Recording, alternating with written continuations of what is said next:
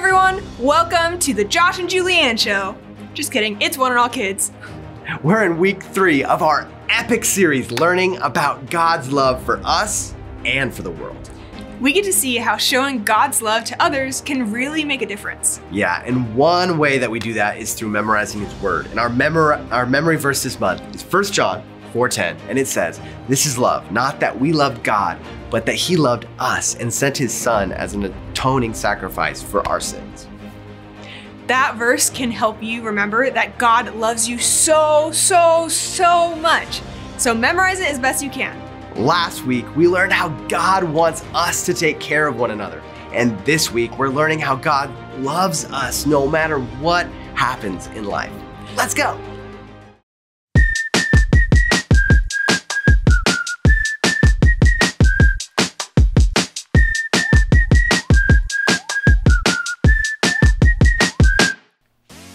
What's up, everyone? We're here for another game. Um, I feel like I look kind of ridiculous, but honestly, I'm just glad to be here. I feel kind of ridiculous with you as well, but um, this seems interesting. There's like ketchup and Skippy, peanut butter, mustard, salt, all this stuff. Do you, do we know what's happening right now? I I don't know, but Yesenia, why don't you tell us what's going on? Today you are playing what we call hard headed. Hard head. Do I need a helmet? No. Really but what you right do now. need to do is throw the ball across the table, hit every single Oh, item down Ah, within a. I don't want to do this anymore. within 45 seconds. So you have 45 seconds to hit every item down. You Yeah. each get a turn. Whoever does it within the 45 seconds or before the 45 seconds clearly wins. So uh, I think we'll let ladies go first. And if you think Julianne's score was like the winning one, you vote for her, and your leaders will take count. And if you don't, you want to wait for me, and then we'll see who the winner is at the end.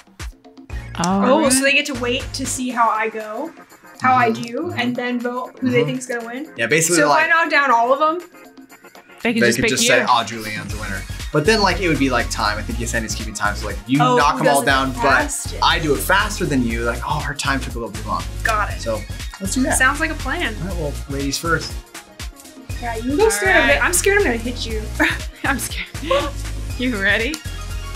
Played softball for two years when I was like seven, so maybe that'll come back to me. All right, here we go. 45 seconds on the clock. On your marks. Get set.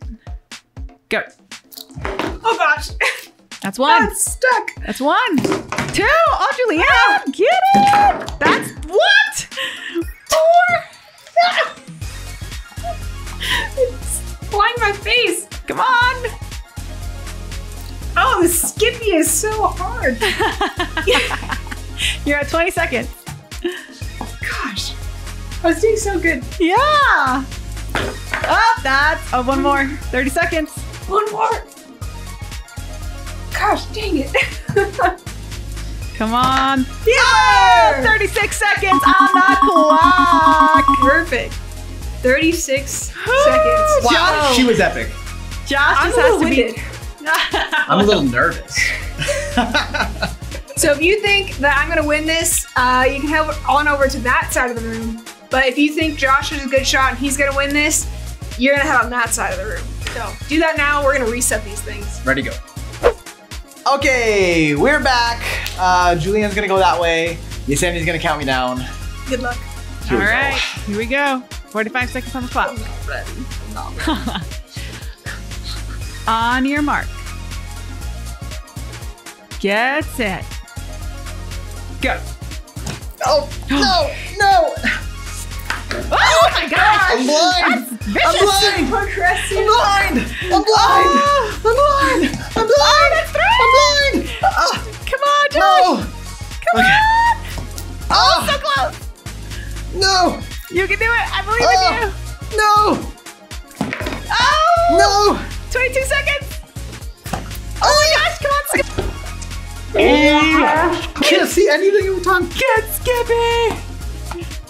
Come on, Josh. Get get him! Get him! no! Count me down! I, can't. I need motivation! Ah, 38 seconds! No! Ah, 41 ah! seconds! So she won that, right? Yeah. No! Good job. In your defense, though, your string is like half as long as mine. Yeah. Oh, you know. So it's good all good. Good job. Good job, team. Okay, well, it's time to get our praise on. Whether we win or lose, we have the same Lord. So let's, let's worship. Hey, friends, worship time is here. We get to sing about how great our God is. So get up on your feet and sing and dance with us as we praise Jesus with our first songs, Never Given Up and Just You.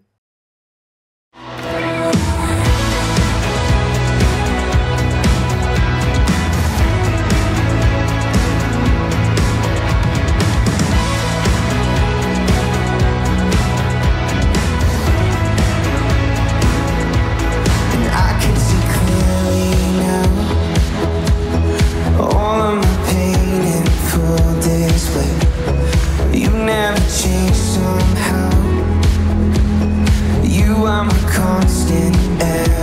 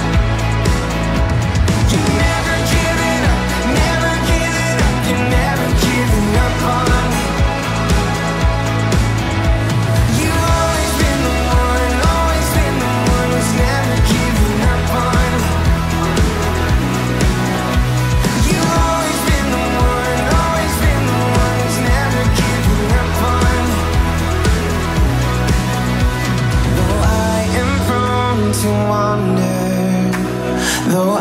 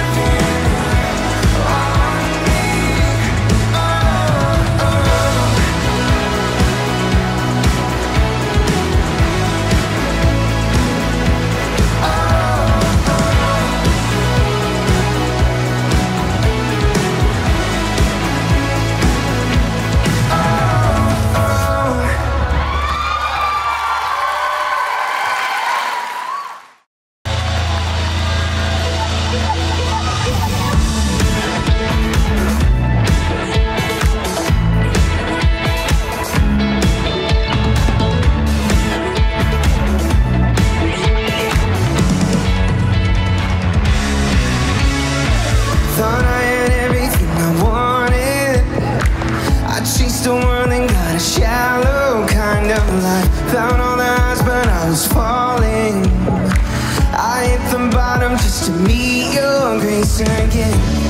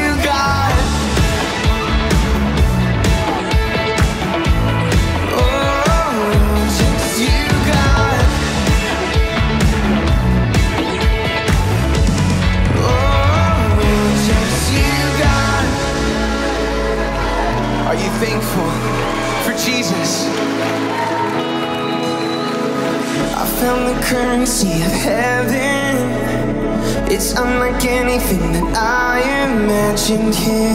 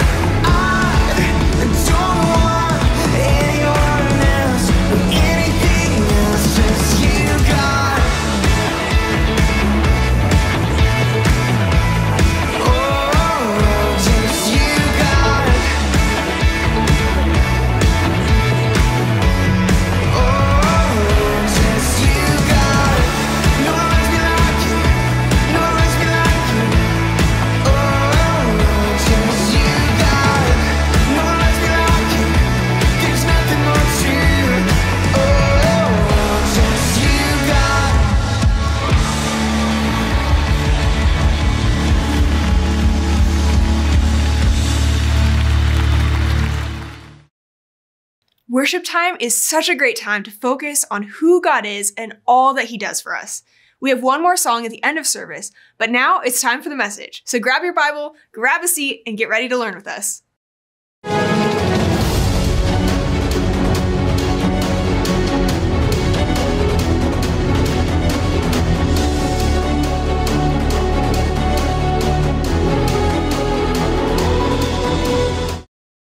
Hi, everyone. I'm Pastor Yesenia, and we are here to learn about God's love and how we can show it to the world. This week, we're looking at just how much God's love covers us. His love is huge, and I don't think we quite realize just how big it is. Our bottom line this week is God loves us no matter what. No matter what. That's a big statement. In every major story, book, or movie, we always see the main character have a, a crisis where they're faced with a decision and they end up making the wrong one. This happens regularly in life too, doesn't it? You might think you know how you'd act in a certain situation, but when you get there, you might act in a completely different way.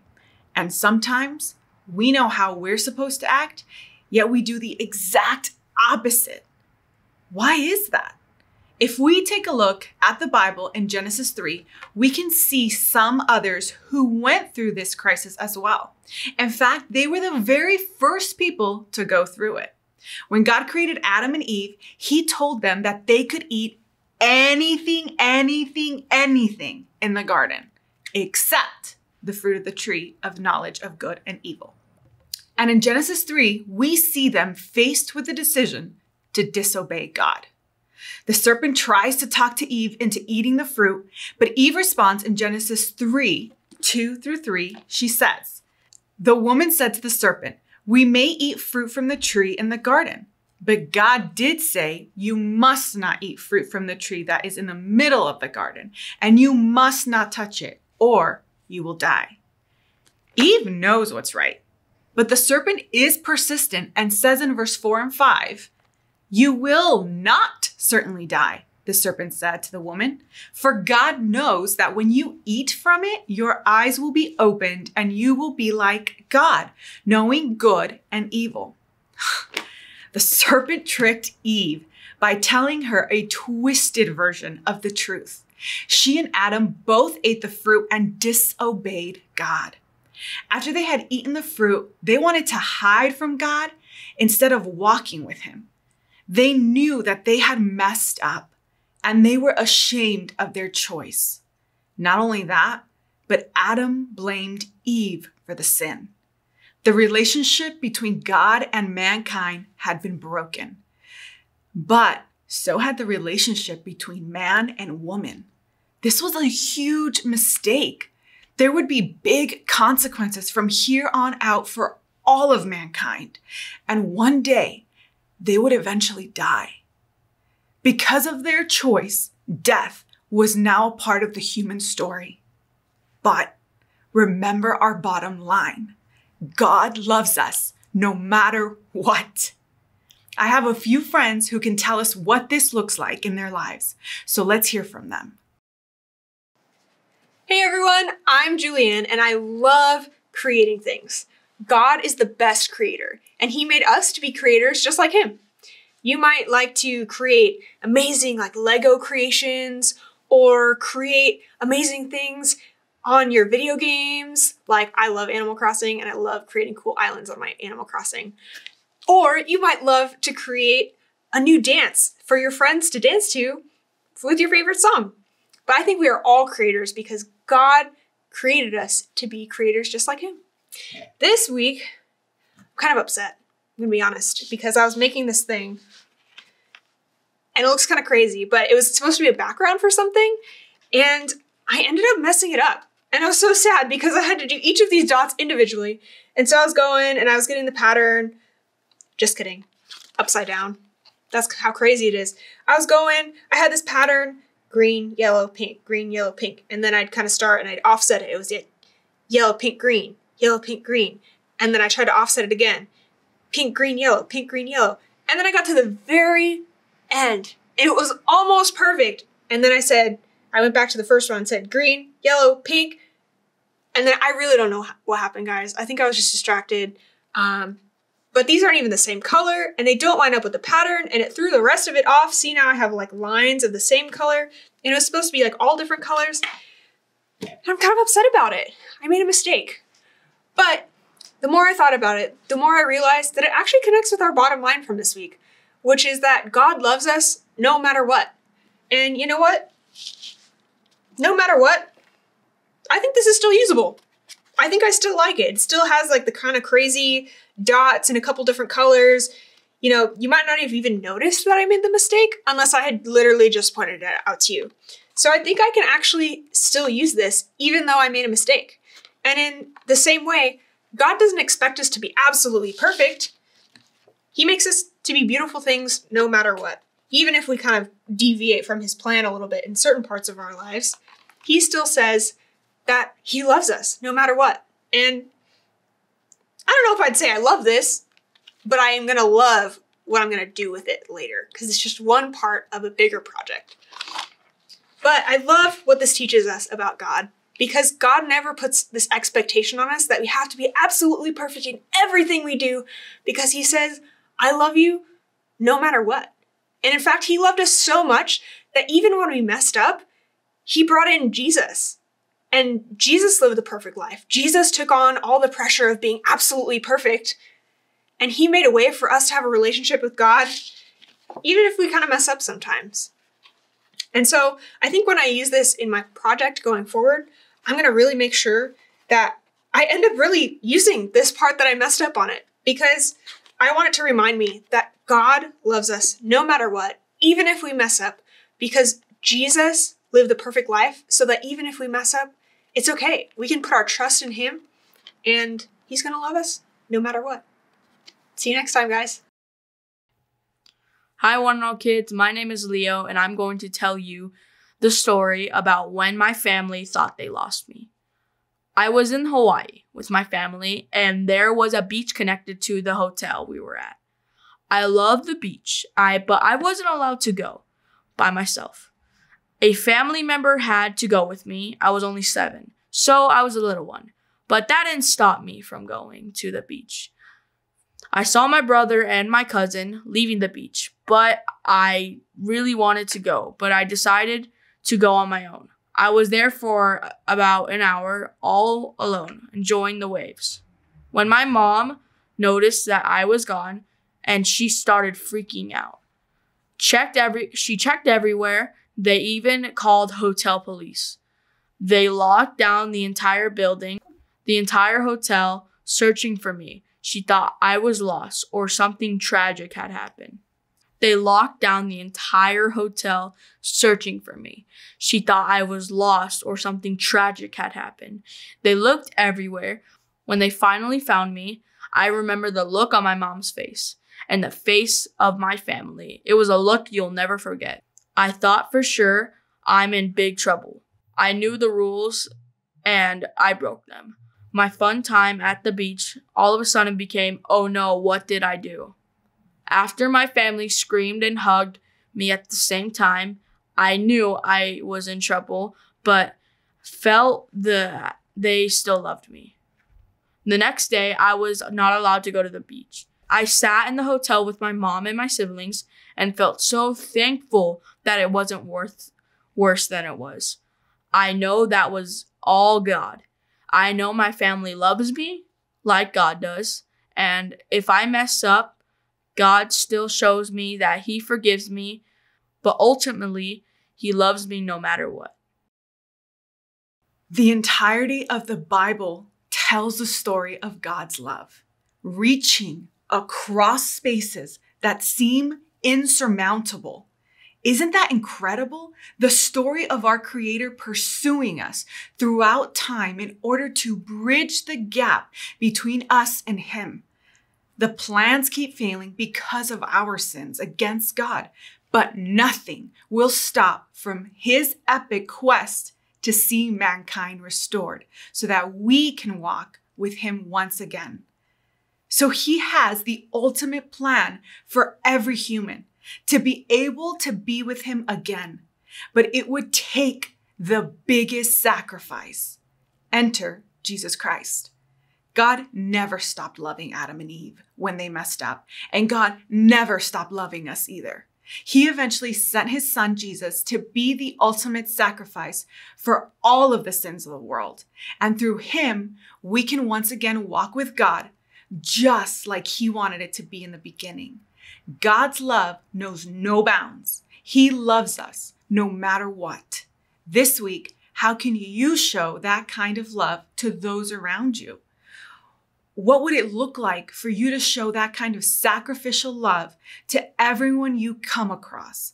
What would it look like to lay down your thoughts and your wants and your ideas and to show the love of Jesus to people? It would change the world. Let's pray. Dear God, thank you for loving us. Thank you for loving us even when we don't deserve it. Thank you for the love that you display day in and day out from the day we were born. Thank you for teaching us in the Bible that no matter how many times David, David, Abram, Adam, and Eve messed up, you still pursued them. And you will continue to pursue us regardless of the decisions that we make. But God, help us to be wise with our decisions. Help us to submit to your plans and to the and to your leading to have the to hear the holy spirit when he says go and to hear the holy spirit when he says stop and so lord i pray that you would help us show your kind of love to the people around us and in our sphere of influence this week in jesus name we pray amen God's love is huge. He chooses to love us and wants to be with us even when we mess up. We know that we all make mistakes all the time. But knowing that God still loves us and still wants to be with us and bless us makes me want to worship Him that much more. Me too. And God is so much bigger than our mistakes. And he wants to make the he wants us to make the best choices when we follow him. But his love remains the same even when we make mistakes. And I want to thank God for that. Same. One way that I can show Jesus how grateful I am is by giving my offering. When we give our offering money to God, we're telling God that we understand that He is the one who gives us all the things that we have in our lives. And by giving back our first and our very best, we are telling God that He is the number one thing in our lives, even if it costs us some of our money or even some of our time. You can talk to your parents and leaders about giving your offering today. Worshiping God is another way that we can show God how thankful we are for Him in our lives. Join us as we sing our song, All That I Need.